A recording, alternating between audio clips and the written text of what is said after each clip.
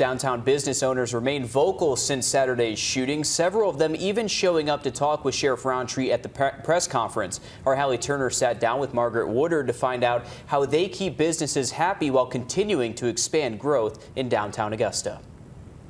More than 50 new businesses and 4 million people experiencing downtown Augusta in 2023 has the Development Authority hungry for more. Already, two new restaurants have opened up in the last couple of weeks. We have two that are getting ready to go under construction. Um, ribbon cuttings, ground breakings are all over the calendar for the summer. So downtown is, is really doing well and our future is bright. And that's because they've kept the same goal on the menu. That's what we want. What can we do to make it seamless and make it a great place where everyone's everyone's going to want to come.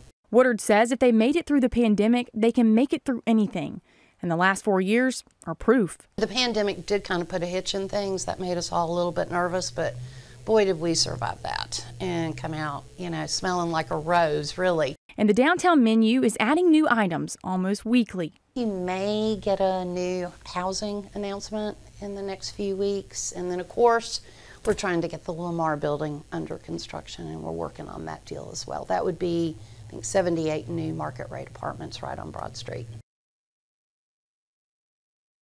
And we've heard from so many of these local businesses since Saturday's shooting. They hope that this shooting doesn't define downtown and people will continue to show up and support them. Exactly. And we certainly want more businesses coming to downtown. We know there's so much open space down there. Absolutely. A great weekend coming up to do that.